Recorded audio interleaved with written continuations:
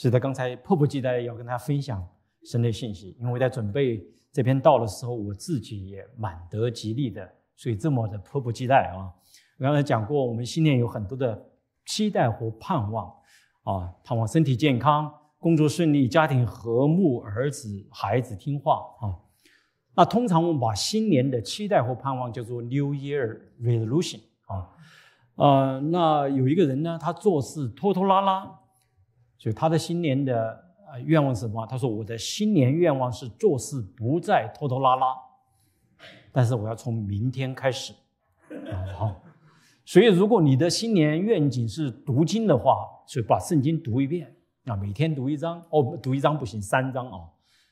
那你如果还没有开始的话，恐怕你要马上行动才行。如果你的新年的愿望是，减重啊，十磅，那你要马上行动才行啊。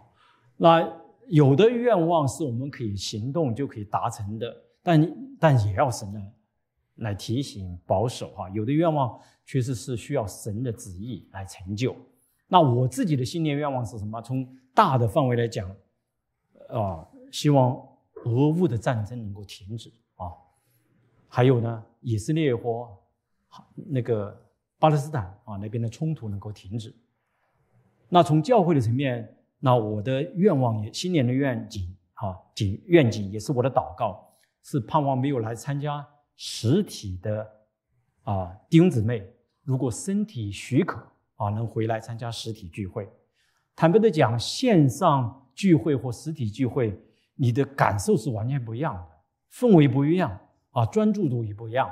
这也是许多。过去在线上聚会，现在回到实体聚会的弟兄姊妹的见证和经历啊，所以啊，待会儿我们还有领圣餐呢，那更是在线上没有办法体会的啊。如果你没有在教会拿拿这个圣餐的话，你恐怕有三年没有领圣餐了啊。这个纪念主实际上是一个感恩的心，对我们生命是很有帮助的。那今天我会和弟兄姊妹继续来分享加太的书啊。那在上一次的讲道当中，我分享了。加太书的二章一到第十节的经文，那那段经文呢，记载了使徒保罗去，就是第二次耶路撒冷的行程。当时在耶路撒冷有一些假弟兄，试图在基督的福音之外添加其他的东西。他们认为外邦的信徒除了基督的救恩之爱之外，还要添加遵守或者要遵守摩西的啊那洁净啊洁净礼仪。保罗坚决抵制。因为这与福音真道不符，因为在基督的救恩，呃呃上面不能添加任何的事物，因为那些东西会像包裹蚕的蚕丝一般，千丝万缕的缠绕着你，让你没有办法真正的得到在基督里的自由。所以，一个人要破茧而出，有属灵生命的突破啊，你需要，我不知道，我不问大家记不记得啊？我相信没有一个人记得了哈。有三点啊，第一点什么？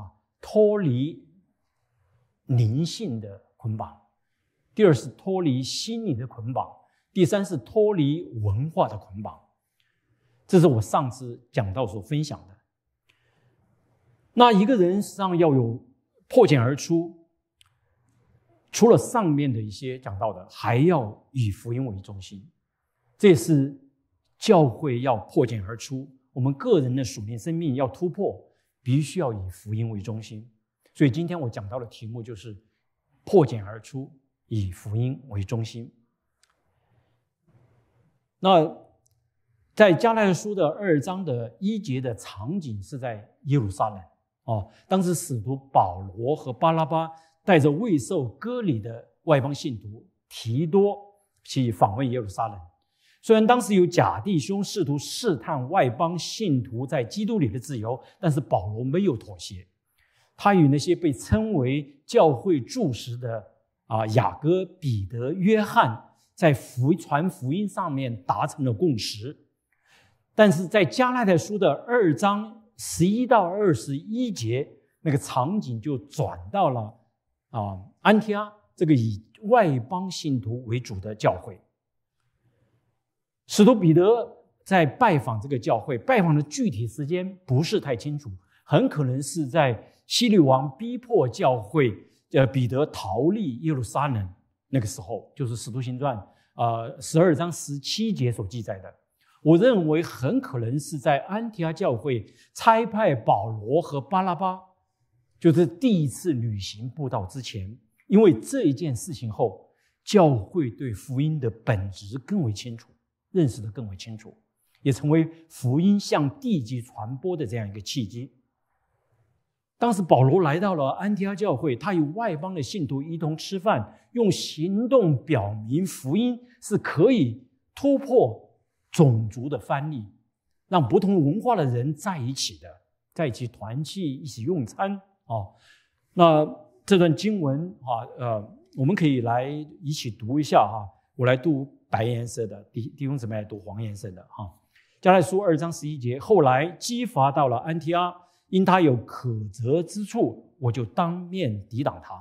从雅各来的人未到之间，他和外邦人一同吃饭。其实他们来到，他因怕共这里的人，就退去外邦人离开了。其余的犹太人也都随着他装甲，甚至连巴拉巴也水火装装甲。行得不正，与福音的真理不合，就在所以外邦人行事，怎么还勉强外勉强外邦人随犹太人呢？所以当时使徒彼得到达安提阿后，他发觉哇，那些犹太的基督徒，他们也已经不再遵守他们自己的饮食条例了，他们和外邦的信徒在一起用餐团契。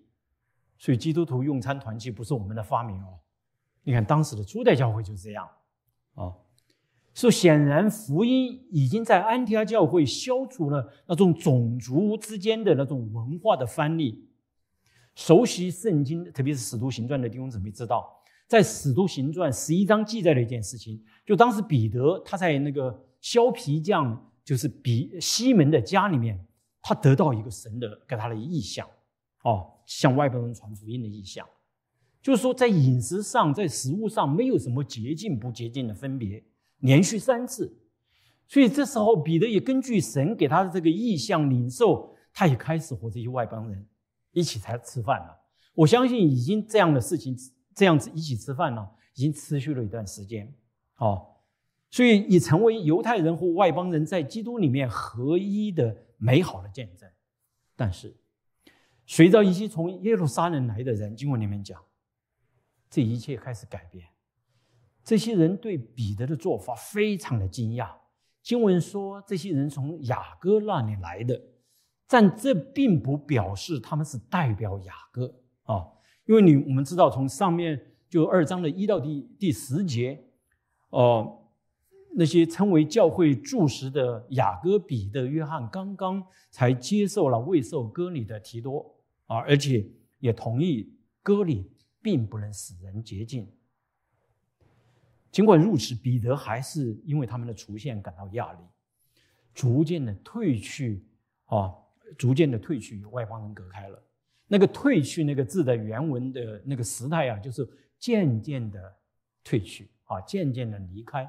很可能是一天三餐，我先减少一餐啊，再减减少两餐啊。当然也有可能他还是和他们在一起吃饭，但是却选择和犹太的基督徒坐在一起啊，犹太就坐在坐在一起。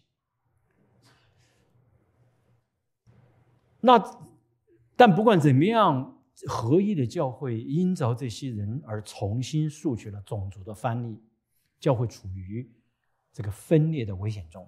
因为彼得的做法，实际是实际上是用自己的行动在教导基督的身体。哦，基督可以分成两个身体，一个是外邦人的身体，一个是犹太人的身体。那彼得为什么要这么做呢？难道是他对福音认识不清楚吗？我相信不是，仅仅是出于惧怕，怕那些奉割礼的人。我们知道彼得在他把福音传给外邦人那个百夫长哥里牛的时以后，他也曾经受到这些受割礼的人的刁难。他当时勇敢地站在耶路撒冷众领袖面前，自我来分述。这是记载在《啊使徒行传》的十一章。他当然知道隔离是一种文化的礼仪，并不能使人洁净。然而这一次，他在这些奉隔离的人面前，他就妥协了。这些奉隔离的人，他们不但曾经逼迫过保罗，他现在又逼迫彼得。那为什么他们会这样不依不饶的逼迫、追逐、迫害他们的人呢？虽然这些人并不否认啊得救需要信基督，但是他们还加上自己的善行。对他们来讲，福音是什么？信基督有好行为，然后才是得救。那保罗实际上已经在呃加太书的一章七节说，那并不是福音，不过是有些人搅扰你们，要把基督的福音更改了。那神所启示的福音是信基督得救有好行为。那以弗所书的二章八节就讲到，唯独信靠信耶稣。菲利比书的一章二十七节讲到，得救后我们的行为举止。与福音相称，都是讲到这一点。所以，一个人当他不以福音为中心，他可能有两种结果：第一，他会活在惧怕中，没有安全感，因为你没有办法保证你每天都能够达到律法的要求，都是爱人如己。另外呢，到另外一个极端，就是让你有属灵的优越感。你会把那些你认为没有达到你的道德律法的要求的人，当做你的敌人，使你成为一个逼迫者。保罗在没有信靠、没有得到福音、信靠基督、没有得到福音之前，他就是这样的人。今天教会会不会有这样的人呢？但是保罗他在真道上不妥协，他甚至当面的抵挡。为什么呢？因为彼得的过错导致了那些犹太的基督徒的跌倒，他必须要公开的来抵挡。因为偏离福音，教会不会真正的增长，一个人的生命也不可能破茧而出。经文中说啊，说甚至巴拉巴也随着装火啊，随着装甲啊，随火将装甲。甚至这个连接词实际上表达了保罗对巴拉巴的跌倒的惊讶。因为你知道巴拉巴是来自什么地方啊？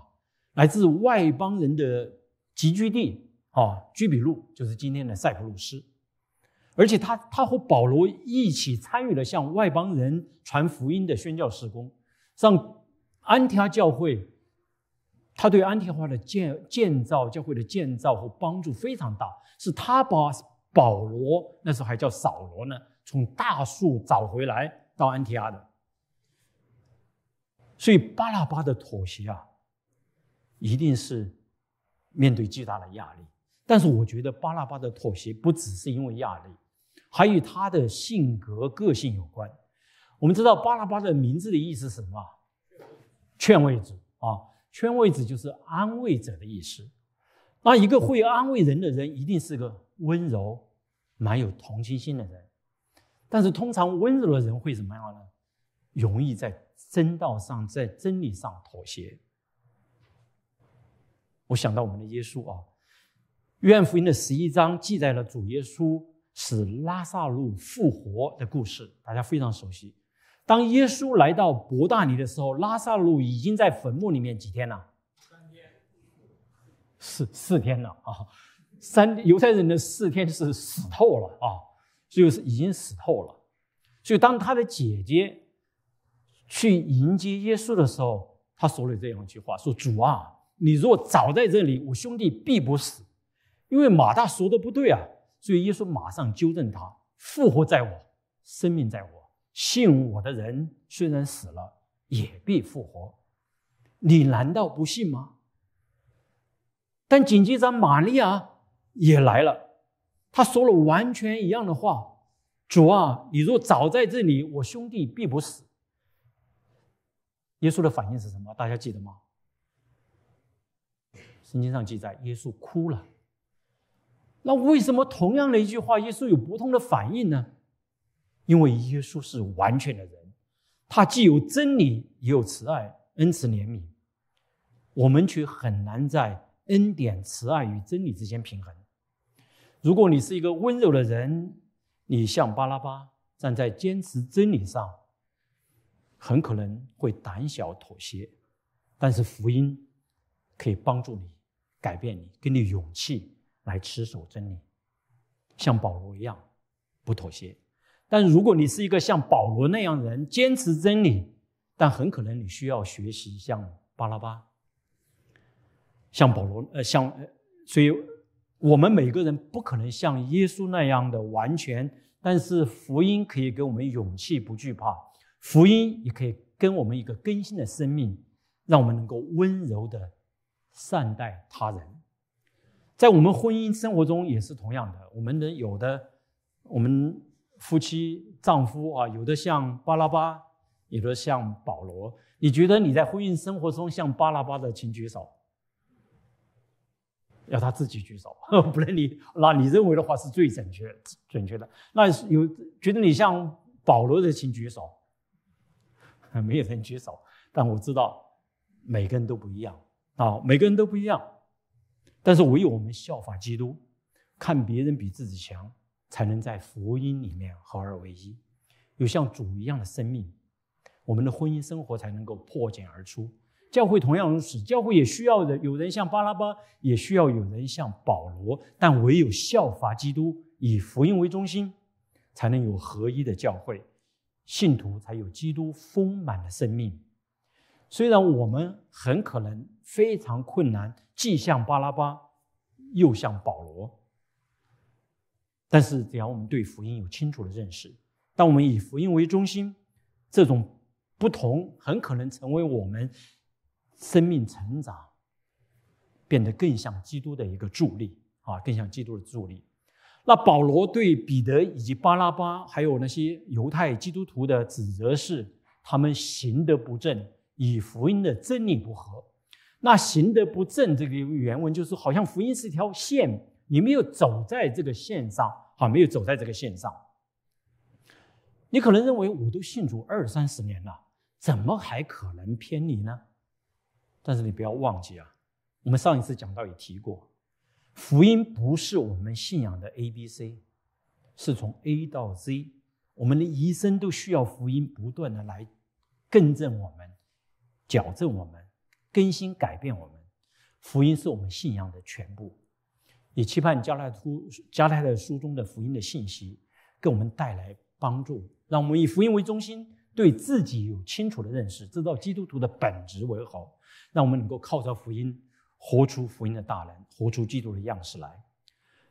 这是我讲的第二点，就以福音为中心，认清基督徒的本质。那在二章十五节这个地方说，啊，我们也可以一起来读啊。我们这生来的犹太人，不是外邦的罪人，既知道人称义不是因信律法律法。乃是因信耶稣基督，连我们也信了基督耶稣，使我们因信基督称义，不因行律法称义。因为凡有血气的，没有一人因信律法称义。我们若求在基督里称义，却仍旧是罪人。难难道基督是叫人犯罪的吗？断福不是。我素来所拆毁的。若重新建造，这就是证明自己是犯罪的人。我不废掉神的恩义，若是借着律法得的，基督就是突然死了。要行的正，不偏逆，就要回到福音的这些核核核心的价值上面，认清做基督徒的本质。我们知道这件事情发生的时候，教会已经建立啊，初代教会已经建立差不多将近二十年。这些偏逆的人可不是一般的信徒啊！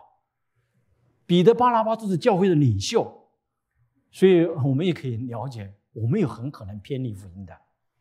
福音本身没有问题，问题出在人的身上，所以我们也需要常常来反反省，看我们是否有偏离。那在啊二章的十五到十八节。还有二十一节是保罗对彼得、巴拉巴以及当时那些在场的庄家、庄甲的那些犹太信徒的讲论。这也是他第一次在呃加太的书里面定义了什么是福音。他用了一些特特别的神学的术语，比如说称义啊，在十五到十七节里面出现了五次，还有二十一节的义啊，二十一节的义。所以要知道什么是福音，我们需要了解这些术语。我们当中还有不管是线上线下，还有一些没有信主的朋友，在你拒绝福音之前，也需要了解什么是你拒绝的福音。一个人不应该拒绝他不知道的东西。那但是作为基督徒来讲，愿主给我们一个受教的心，让我们不偏离福音。那在我们讨论这个称义之前，我想来和大家一起看看什么是圣经中的义啊？什么是圣经中的义？圣经中的义不是善行，而指的是一种关系。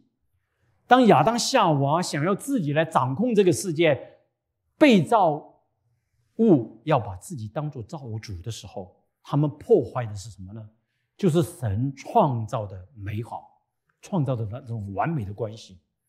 因此，你们看见他们与世界的关系就破坏了，夫妻之间的关系也破坏了，与自己的关系也破坏了。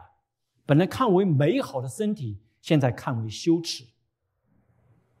当然，最主要是与神的关系破坏了，这就偏离了神创造人的初衷。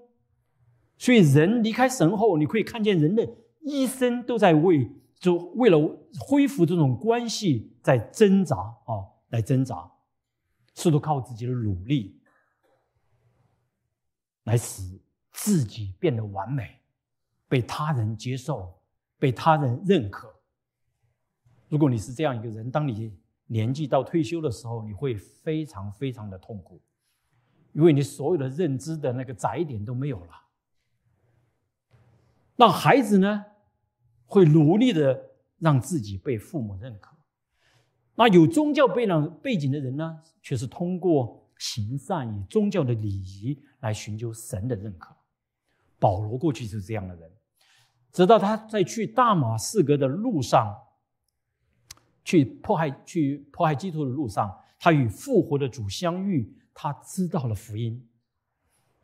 才明白，靠自己的善行，他完全没有办法达到呃达到律法的要求，反而使自己成为一个逼迫者，成为与基督为敌的人，以人与自己与世界的关系的破坏，实际上是与神关系破坏的结果。那从十五到。呃，十七节当中出现了好几个我们，我们啊，这个我们不是一般的称呼，好像包括我们我们现在的啊，现在的我们，像这个我们特定的指的就是保罗自己以及彼得、巴拉巴或当时他正在讲论的那些啊犹太基督徒。当那第一句话说，我们这生来的犹太人不是外邦的罪人，这个实际上是犹太人对外邦人的看法。彼得不见得这时候他同意这种看法。但他的行为却支持了这种看法。那四六节呢，是加拉太书当中福音真理的一个核心。既知道人称义不是因行律法，律法乃是因信耶稣基督。连我们也信了，呃，基督耶稣，是我们因信基督称义，不因行律法称义。因为凡有血气的，没有一个因行律法称义。那保罗在地方用的称义是一个法律的用语，称义的不是要改变我们过去行为的记录。我小的时候哈啊，有一次在家里面，有些小孩子在我们家里面玩儿，那玩的时候不小心就把家里面那个热水瓶打破了，哇，那我非常紧张，因为在那个年代啊，一个打破一个热水瓶都是不简单的一件事情，我很贵，没有这么高的工资嘛，你买东西不容易，所以你很麻烦的。啊，我很紧张啊！父母一回来过后就开始骂我，一看见那热水瓶在打破了，开始骂我。我马上解释，不是我打破的，是小朋友打破了。我解释了过后，他们当然改变了看法，但是并没有改变那个热水瓶被打破的那个事实啊。所以称义不是改变我们过去行为的记录，也不是把一个所谓的坏人马上改变成一个好人，不是的。称义称义改变的是什么呢？改变神对我们的看法，啊，神对我们的看法。当然，这个改变不是因为我的善行，是因为我信靠基督。所以弟兄姊妹，我讲到这里，我想问大家一句话：如果有人问你，哎，什么是基督徒啊？你怎么回答？啊，你怎么回答？什么是基督徒？你怎么回答？啊，呃，接受过洗礼的，啊，小基督，哈哈，也对啊，小基督，接受过洗礼的，或者小基督，或者是有好的行为，还是个好人啊，柔和谦卑的人，这些实际上是信基督的一个结果啊，是信基督的结果。当然，你可以回答基督徒啊，是信高主基督的人，这没有错。但这句话的真实含义是什么呢？十七节的经文就给出了答案。十七节呢，里面说：“我们若求在基督里称义，却仍旧是罪人，难道基督是叫人犯罪的吗？断福不是。”记得刚才我们讲那个“我们”指的是保罗自己、彼得、巴拉巴那些已经重生的信徒。就他们已经在基督里面称义了，所以这个地方说“若在求在基督里称义”，怎么来解释呢？像这句话的意思是：尽管我们渴慕，唯独靠基督称义，我们却仍是罪人。基督不过是把我们的罪向我们显明罢了，他绝不会赞同我们犯罪。这就是基督徒的本质。马丁路德对这句话有个非常清楚的诠释，非常容易记。他说：“基督徒既是被称义的人，同时也是罪人。”那在第十八节，保罗非常有智慧的把人称代词从“我们”改为“我”。因为他在用自己的见证来进一步诠释福音，同时以减轻，因为这是公开的，减轻带给彼得的压力。他所表达的是什么？什么呢？这句话，他说：“我素来所拆毁的，若重新建造，这就证明自己是犯罪的人。”他好像是在说：“如果我像你们那样妥协，就会显出自相矛盾来。当我按照外邦人的生活方式生活的时候。”我实际上拆毁了按照律法称义的方法，但是当我又照犹太人的方生活方式来生活的时候，他说我这撤毁了借着恩典而得的救赎。他说这是行的不正。那这个地方犯罪的人这句话，这个这个原文啊，peripat 呃 peripatens 啊 peripaten，它的意思是什么？就是越了界限，我偏离了正路。它和十七节那个那个罪不是同样一个词，就是行的不正的意思。行得正就是以福音为中心，就是以福音为中心。那在福音的如果右边是律法主义啊，如果是律法主义，就是那些奉割礼的人，他们并不反对得救要信基督，但是他们添加了其他的事物。在加太书中，就是那些洁净的礼仪。如果这个福音为中心的右边是律法主义的话，左边就是相对主义。那这些人可能只接受神是爱，神爱世人嘛，但是却不接受神会愤怒、会审判、会有地狱的存在。那当然，最左边的话都变得无神，就完全不相信神了啊。那当一个人站在左边的时候，他会认为福音太苛刻了，神不是爱吗？怎么你讲到神会有审判、有地狱呢？那站在右边的人呢？他会觉得福音太容易了，怎么就就就成为神的儿女了？他觉得为神福音太容易了。但是无论你站在右边还是左边，当一个人不以福音为中心的时候，你都不可能经历福音改变生命的能力，绝对不可能。我们再来看二章的十九到二十节，在十九节那边说：“我因律法啊，因为因律法就像律法死了，叫我可以向神活着活着。二十节说：“我已经与基督同定十字架，现在活着的不再是我，乃是基督在我里面活着，并且我如今在肉身活着，是因信神的儿子而活。他是爱我，为我舍己。我因律法就像律法死了，是什么意思呢？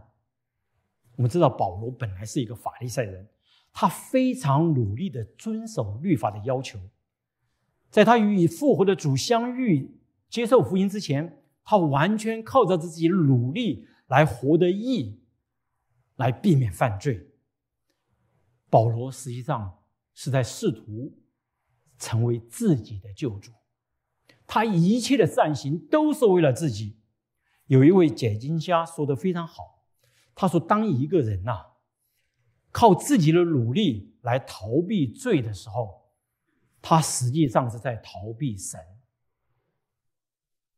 我再说一遍，当一个人如果靠他自己的努力来逃避罪的时候，他实际上是在逃避神，因为他把要把自己当做自己的救主。像律法死，就是不再靠自己来称义与神和好，而是单单的依靠基督，唯独基督。那二十节的经文呢？你初初读起来啊，看起来好点有点矛盾。保罗先是说。现在活着的不是我，然后又说，我如今在肉身活着，如今就是现在啊，哦，到底是活着是我还是不是我呢？读起来好像有点矛盾哦。那前者呢，就上半段好像是说我什么都不要做了，sit back，relax，让让让在我里面的基督来做。那后面半段呢，就说我要拼命的努力，像基督一样为他而活。当然，这句话如果把它拆开来看的话，的确可以这样解释的。但把它放在一起，就不是这个意思了。那怎么来解释呢？如何解释“我已经与基督同定十字架，现在活着的不再是我”这句话？实际上，实际上是从天赋的视角来看我。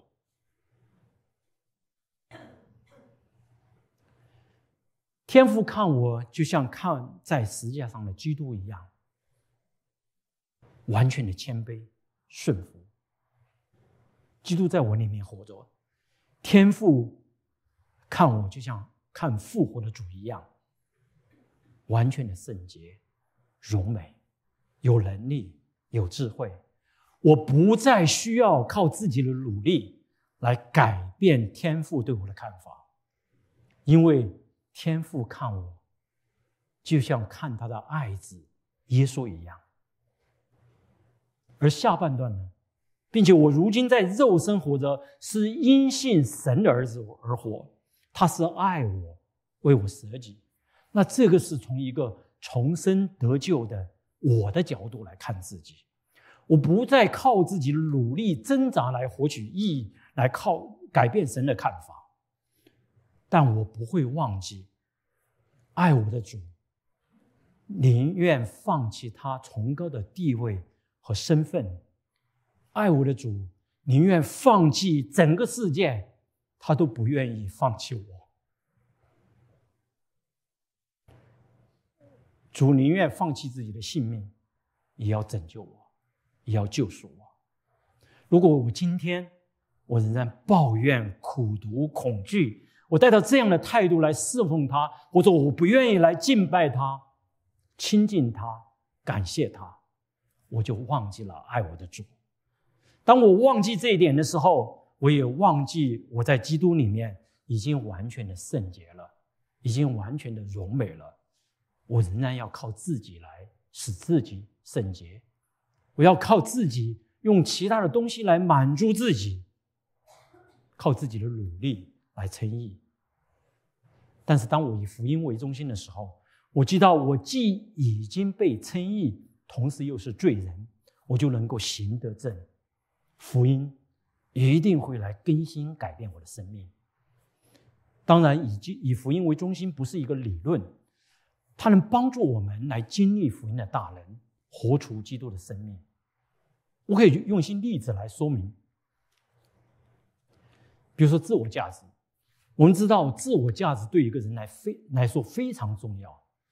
一个对自我价值认识不清的人，他或者是过分的，或者没有自信，或者会非常骄傲啊。所以，当我不以福音为中心的时候，我的自信有时候会成为我的夸口和骄傲，因为我忘记了我还是一个罪人。但是如果我忘记我已经得了恩典，我已经被称义与神和好了，我不再需要在基督以外添加任何的事物。当我忘记的时候，我的谦卑有时候会变成什么自怜？哦，变成自怜。实际上，当我在准备这篇道的时候，哎，我发现了我自己常常会偏到左边，骄傲夸口；也会偏到右边，自怜。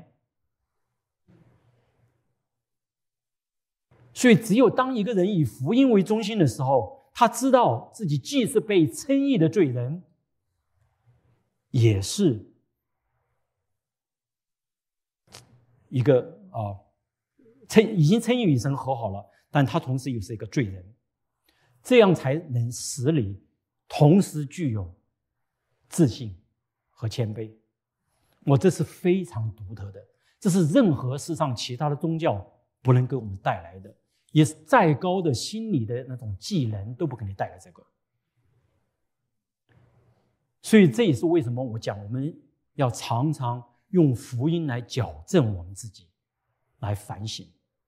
因为福音不是 A、B、C，福音是从 A 到 Z，以福音和我们以福音为中心，我们就能够走在神那个真道上面，福音也能够更新改变我们的生命。如果今天你信主很多年，你觉得我越信越没有信心，越信越失失望，很可能你没有站在福音上面，你或者站在右边，你或者站在左边。另外一个例子，苦难。我知道我们人生有许多的困境啊。当我面对苦难的时候，作为一个律法主义者，你很可能会像约伯那些朋友一样，来指责约伯。约伯啊，他的朋友指责约伯：哇，你受这么多苦，一定有犯罪啊。那你一定会自责，是我努力不够吗？哇，我是不是犯罪得罪了神？你不可能有平安。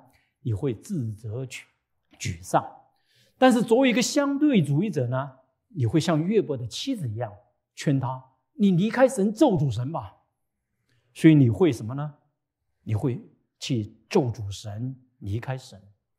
所以当你是一个律法主义者的时候，面对苦难，你会恨你自己；但是当你是一个相对主义者的时候，面对苦难，你会怎么样啊？你会恨神。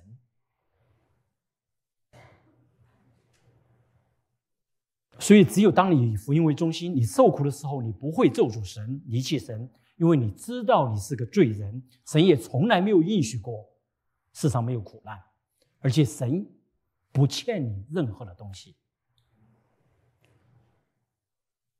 同时，你知道你已经蒙恩被称义了，所以耶稣基督的救赎是完整的。他为你为你付的代价是完全的，你不需要再在这个上面添加任何东西。你的受苦和救赎一点关系都没有，因为救赎是完全的。基督已已经为他自己的生命为你付了赎价，你不用受苦来为罪来付赎价。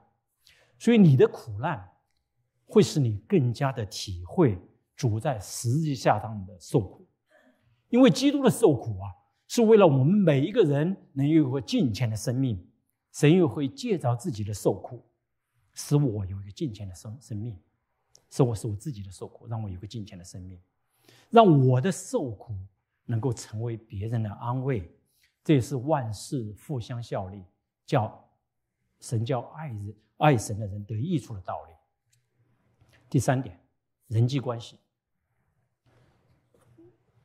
所以，如果在人际关系当中，如果有人伤害了你啊，通常有两种反应。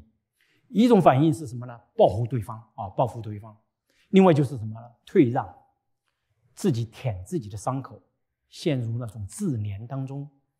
当然，报复啊会让你感到感觉到很爽，但会给对方带来伤害。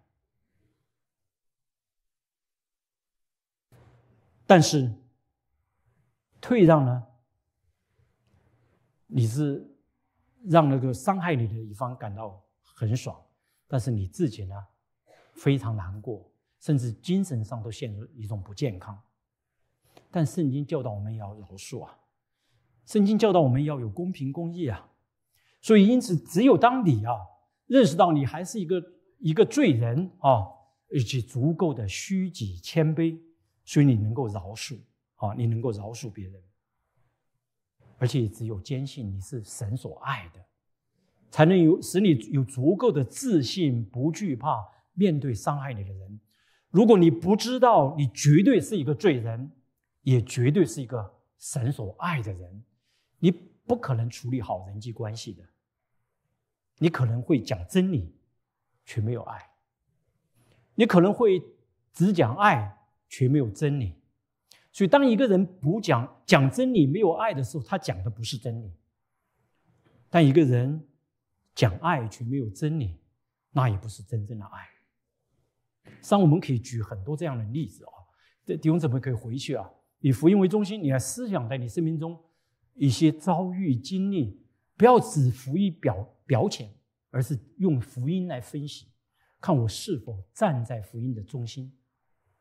没有偏在右边，也没有偏在左边，那不管那件事情是好是坏，一定会成为神在你生命中的祝福，就让你的生命更加的荣美，能够见证主、荣耀主。圣经告诉我们，凡事谢恩，这是可以说是个命令语气，在《铁撒罗尼迦前书》第五章里面。但这是我们基督徒的一个责任吗？如果是责任的话，一定会变成一个形式，绝对不是责任，而是一个生命更新的动力。只有当你深知你因着基督的宝血已经称义，同时你也是一个罪人，你以福音为中心，你才不会忘记爱你、为你舍命的主。我马上会掰饼纪念主，愿那位宁愿放弃整个世界，也不愿放弃你的主。宁愿舍弃自己的生命，也要救赎你的主，激励你跟随他，敬拜他，荣耀他。